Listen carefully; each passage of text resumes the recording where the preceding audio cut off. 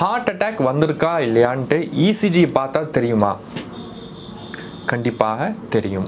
அது ஒரு முக்கியமான ஒரு ஸ்க்ரீனிங் டூல் அதுக்கு அர்த்தம் இசிஜி மட்டும் ஒரு டூல் கிடையாது. அதை தவிர மற்ற பிளட் மார்க்கர்ஸும் இருக்குது. அதுக்கு பேர் ட்ரோபோனின் அதாவது உங்களுக்கு ஹார்ட் அட்டாக் வந்திருக்கா இல்லையான்னு கண்டுபிடிக்கிறதுக்கு எமர்ஜென்சிக்கு போவீங்க. எமர்ஜென்சியில் இசிஜி எடுப்பாங்க.